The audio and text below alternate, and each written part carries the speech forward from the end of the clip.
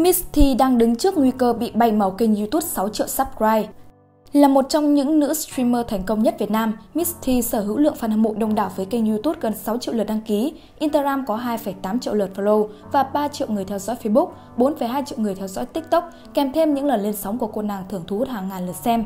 Lượng fan của Miss T luôn ở mức ổn định và chỉ có tăng chứ chưa hề giảm. Điều này đồng nghĩa với việc người hâm mộ luôn mong ngóng những sản phẩm đặc biệt được tung ra. Nhưng mới đây, Miss T đã khiến nhiều fan hâm mộ của cô lo lắng khi lên tiếng trang YouTube với gần 6 triệu lượt đăng ký của mình có nguy cơ bị gỡ bỏ. Cụ thể, Miss T chia sẻ, YouTube của cô đang gặp vấn đề, tuy nhiên chưa thể nói gì chắc chắn cho đến ngày 17 tháng 3. Nhiều khả năng kênh YouTube mà cô nàng gây dựng những năm qua sẽ bị mất. Hiện công ty Miss T vẫn đang cố gắng tìm cách giải quyết, gỡ vi phạm bản quyền.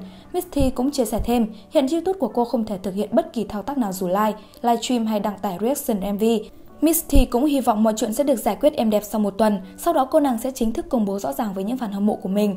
Theo dõi Facebook của Misty, nếu tinh ý có thể nhận ra, cô nàng cũng đã đề cập đến sự cố này trong đoạn trạng thái mới nhất khi series Take Me Dead Me của Misty không được phát sóng vào khung giờ cố định như mọi khi. Thông tin này được chia sẻ trên mạng xã hội đã khiến nhiều khán giả vô cùng lo lắng, bởi việc mất kênh YouTube 6 triệu fan không phải là chuyện nhỏ.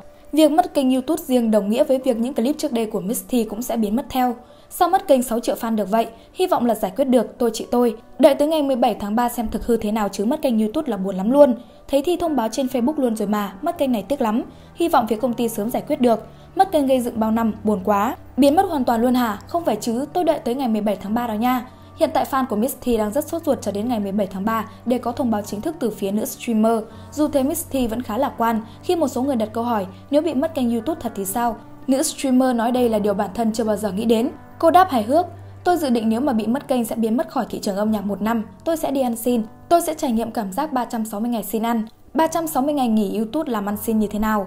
Misty tên thật là Lê Thị Ngọc, là một trong những nữ streamer được giới trẻ yêu thích. Sức hút của Misty đến từ lối ăn nói dí dỏm, thông minh cùng khả năng nắm bắt xu hướng giới trẻ nhanh chóng. Sự hoạt ngôn và khiếu hài hước giúp Misty hút gần 6 triệu lượt đăng ký kênh YouTube, hơn 5 triệu người theo dõi Facebook, 4,2 triệu người theo dõi TikTok và hàng chục triệu lượt xem cho các video sáng tạo. Được hâm mộ qua những video đăng tải trên chính kênh YouTube của bản thân, Miss T nhanh chóng trở thành cái tên được nhiều người ngưỡng mộ. Lượng fan của Miss T đến hiện tại vẫn tăng dần đều. Với lượng theo dõi kênh YouTube khủng của mình, Miss T có thể kiếm được mức tiền khá lớn. Theo Social Blade ước tính, nữ streamer có thể kiếm được từ 8.300 USD, khoảng 192 triệu đồng, đến 133.100 USD, khoảng trên 3 tỷ đồng.